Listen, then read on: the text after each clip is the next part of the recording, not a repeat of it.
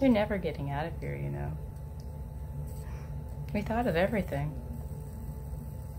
When you walked into the store that day, we knew who you were. It was the first step in our plan to get you right where we have you now. You did every single thing that we wanted you to. It was all part of a long, grand plan to get you right at this spot, right at this moment in time. Your life is essentially over with now. now don't worry. We'll probably find some way to make your stay here a little bit less uncomfortable. But for the most part, you're never leaving. And I don't think you're gonna like it here. People like you don't listen. They don't think about how everything around them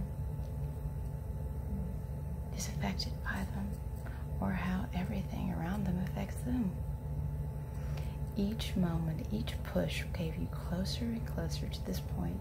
The man at the gate who told you to find the keys, that was the first step.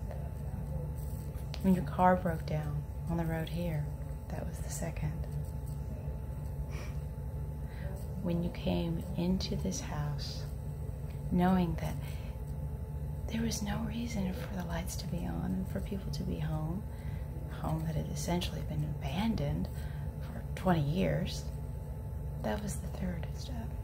And probably the final step and the fatal step in this grand scheme of ours. In some ways, it's comical. All you had to do was just stay home. but you'll be alright. We'll make sure that you're well taken care of here. Because, sweetie, you're not leaving.